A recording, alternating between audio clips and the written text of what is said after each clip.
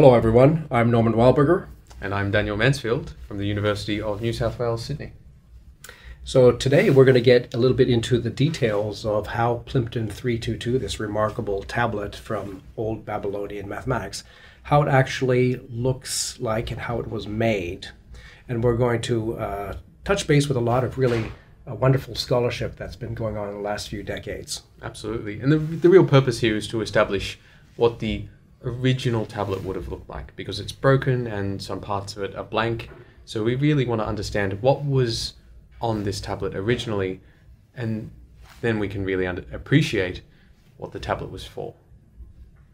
Now, a good place to start is with Pythagorean triples, which we're calling Babylonian triples, because they really were around um, more than a thousand years before Pythagoras was around. Now, these days, we all know that Pythagorean triples are usually associated with this equation involving three quantities, r squared minus s squared, 2rs, and r squared plus s squared. And if you square this one and you square this one, you add them up, you get the square of that one. So that's a Pythagorean triple in the usual sense, and it goes back to Euclid. But the old Babylonians had a quite different approach. Indeed, and we'll see more of this in, explicitly in a tablet later. But for them, a Babylonian triple would have been this quantity, where you take two numbers r and s, and they have to be regular numbers, and by that I mean they have only factors 2, 3, or 5, because these quantities here, r is divided by s here, and s is divided by r here. We use the, the bar notation to mean the reciprocal of that number. So here is r divided by s, here's s divided by r, and we're going to halve that whole thing. And then square it, and really this corresponds to this thing scaled by 2rs. And here we have 2rs scaled by 2rs, which is 1, and here we have r squared plus s squared scaled by 2rs. And I, and I see that sh- That should be a plus. sign. Ah. Let's, let's change that. No Alright. worries. There we go. Easy, Now easy it's change. correct. All right, good, good. Um, so it's really the same equation, but expressed in this more Babylonian, uh, with this more Babylonian flavor. So um, what we're really getting here from a, a normalized point of view is we're describing a triangle of a rather special kind where the length is one. We've seen the importance of that in their, in tradition. So we have a, a length or a height of one, that's the one that's there. And then these other two numbers that are appearing in the literature, they end up being called beta and delta, and we'll see that they play a very important role in all of this story. So what this equation establishes is really the existence of this equation, beta squared plus 1 squared equals delta squared, describing the Pythagorean or Babylonian relation in this normalized right triangle. Hmm. And particularly this ratio here, beta, is very important to them because this corresponds to their notion of inclination. And what, what we saw that was ukulu, or in Ukulu, yes. Danum, those two terms, Yes. and- or from the Egyptian point of view, seked. So this is a very natural geometrical notion for them because they don't have any angles, they have uh, this beta. Reciprocal numbers play a very important role in this story, and we'll see here how they used to get from a pair of reciprocal numbers into a geometric object, in this case, a right triangle or rectangle. So, this example here is taken from MS 3971, Part 3E, uh, from Friberg's publication in 2007, uh, Mathematical Cuneiform Texts. And it reads like this You have this, uh, this, this pair of reciprocals 1.12, the Iggy, and its reciprocal 50 is called the Iggy. It's a number and it's reciprocal. And the procedure goes as follows You take the number and its reciprocal and you add them or heap them, and the sum is 2.02. And then you take half of this, and that's 1.01. And really, this corresponds to the process of generating the delta from our previous slide. This is half x plus x bar if we treat x just as a single number, a- regular number. So once you've got the delta, which is the diagonal here, then you can obtain the beta. You could obtain the beta by taking x minus x bar and then, and then halving that, but in this example, the purpose is to exhibit the diagonal rule. And so instead of computing beta the easy way, the scribe does the following. It takes the delta and squares it all to, and the square of delta is 10201. And then that 1 is torn off to just get the 2.01, which is a perfect square. In fact, 2.01 is 11 squared. And so the scribe obtains this short side here using this formula, not the formula um, which would the, e- the easy way, which would have just been to take uh, take x minus x bar and divide that by 2. Yes, I love that. I really love the way they use the language here. It's somehow very uh, physical. Uh, you know, make but itself to describe the squaring, uh, talking about heap to Mm. addition and Tearing break, off. tearing off, and an equal sided to represent uh, a square. You know, basically you're taking a square root there. So it's uh, great stuff. This, this Babylonian way of uh, writing. Mm. Yeah. But in particular, this, this demonstrates why reciprocals are so important to this story. That it's reciprocal pairs of numbers that give them these geometric objects. And this certainly illustrates very clearly their, their understanding of those relations that we had on that uh, previous slide. So, a lot of scholarship has gone into discussion of how the scribe made Plimpton 322, starting with Neugebauer and Sachs, who proposed that the quantities R and S that we've been talking about played a central role. Mm. And really, one of the questions that they wanted to answer was how were they able to come up with such a range of Pythagorean triples? And the thing they noticed was that all the Pythagorean triples have a regular long side. And so they favored the approach involving two regular numbers r and s and they and, and this idea of a triple because it gives them control over this long side here, this r this 2rs. And if you choose r to be regular and s to be regular, of course 2rs is regular in base 60. Yeah. So that's why they favored this approach, but they were, weren't really able to build on it any more than that. And that L value, that uh, third value that's regular, is actually not actually on the table, it's sort of off the table, but it still plays an important role. And then sometime later, E.M. Bruins came along with a, a, variant of this theory, which emphasized not the numbers R and S, but rather the, the ratios of R over S, what we would call R over S, what they would call R times S bar, uh, and, and the reciprocal X bar, which is S over R. And the advantage of, of Bruins' theory is his idea that you should be able to read off the values of x and x bar some from some kind of procedure or some kind of tablet. So he suggested that x and x bar came from a, a, a sophisticated table of reciprocals, and that Plimpton was generated from the scribe reading through that sophisticated table of reciprocals, and uh, and and just applying the procedure to generate a rectangle or right triangle. Um, we don't know of any table of reciprocals that sophisticated, but it's a it's a nice idea. The procedural aspect of it uh, is is a, is a nice idea. Until De Solla Price came along. Right.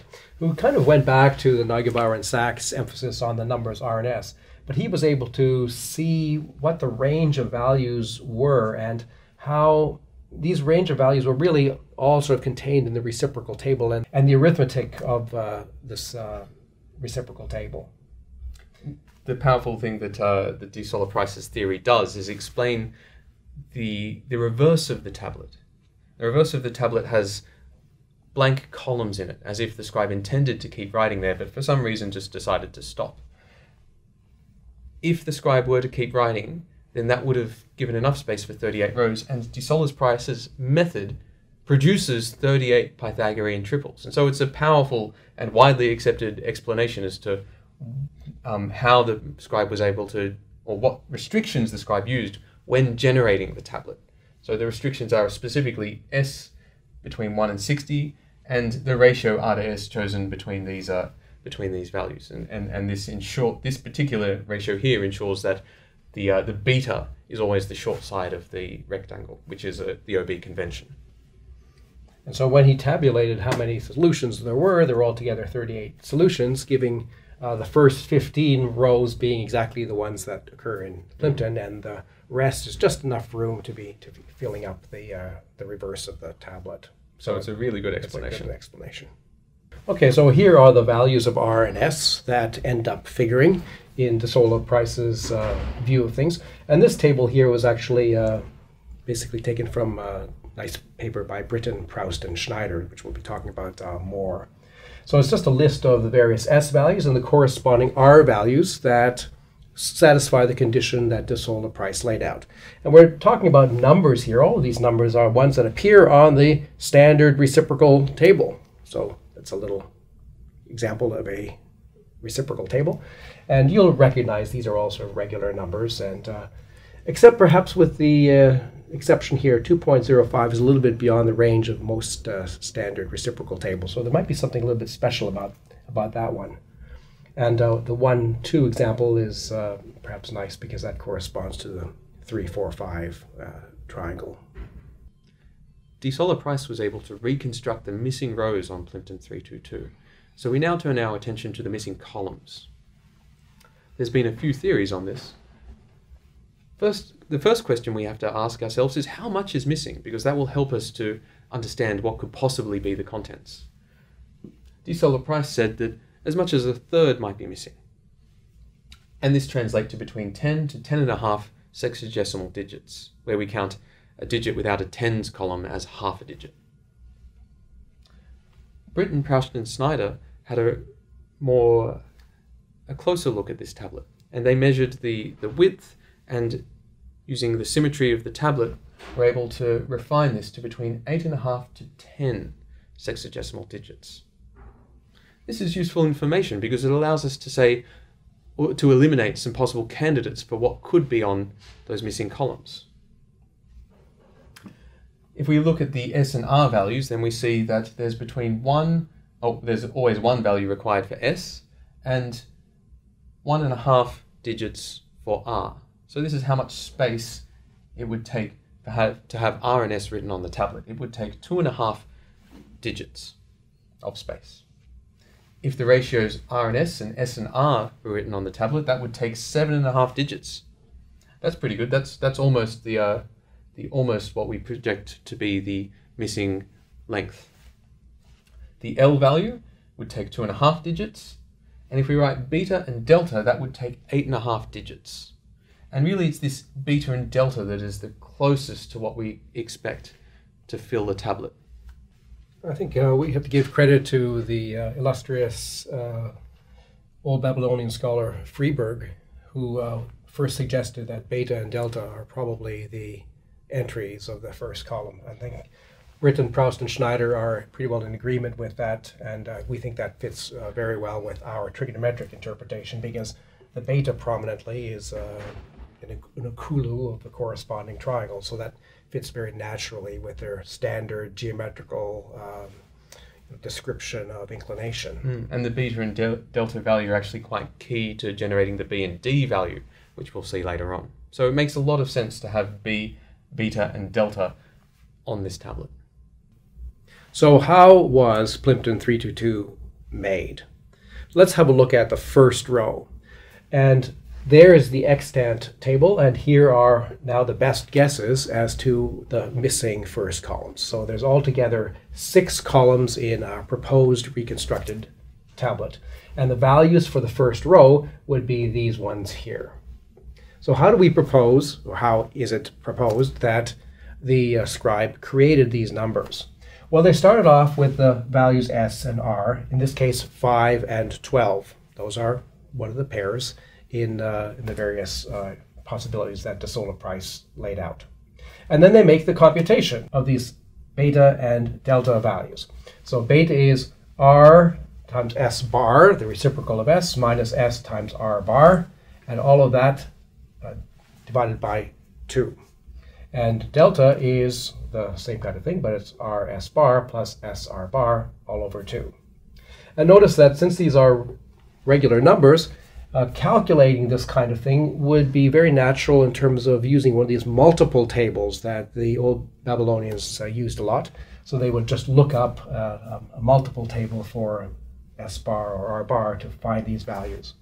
And these values turn out to be 59.30 and 1.24.30, which are the proposed first entries in that first row. Mm. And I, I want to point out that there's a difference here between this method we're proposing here and what I showed you earlier with MS 3971. And that is that there's no square rooting involved here.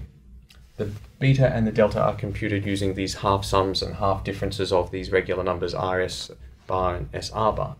And there's a, a very good reason why we think it's, there's two very good reasons why we believe this is the case. The first reason is that the, there's errors in these calculations. There's errors in the delta squared calculations. And these errors are not carried forth into the remaining columns. So it seems just based on the errors that this is computed as, a, as an aside, and these are computed independently. So the scribe is not taking a square root here because uh, to compute beta or delta because if he were, then those errors would be carried forward. And the second reason is that some of these squared values in Plimpton 322 are actually too big for them to be able to take a square root of. We know that the Babylonians were really good at taking square roots, and we have uh, some excellent examples of them taking square roots of big numbers, but these are always contrived examples where the, the numbers are, have a nice regular approximation and they can perform their method appropriately. The numbers in Plimpton 322 are not like that. They're enormous and they have they're, they're not susceptible to the Babylonian method of taking the square root. So there's two really good reasons why we believe that beta and delta are actually computed explicitly and not via the square root algorithm. Yeah. And so that's what probably would have happened first. The scribe would have created these two numbers, beta and delta, using exactly this prescription.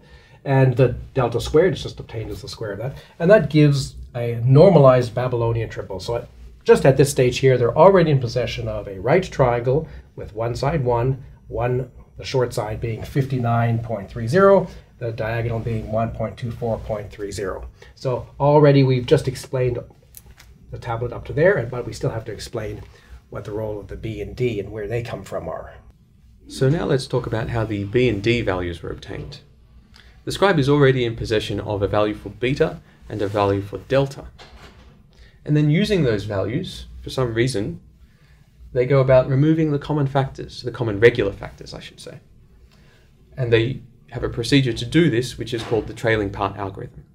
And this algorithm really relies on the fact that if you have a number, its regular factors are apparent from the final digits. And this is a familiar aspect of our decimal system. You can always tell when a number is even, or you can always tell when a number has a multiple of 5 in it. You just look at those final digits and, and you can see straight away. The same thing is true in base 60.